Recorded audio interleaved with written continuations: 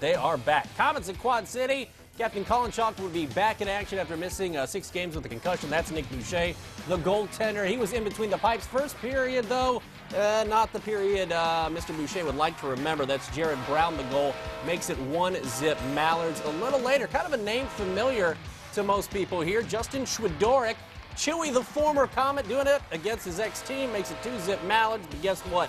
Second period, you're going to see Stephon Thorne with a power play goal.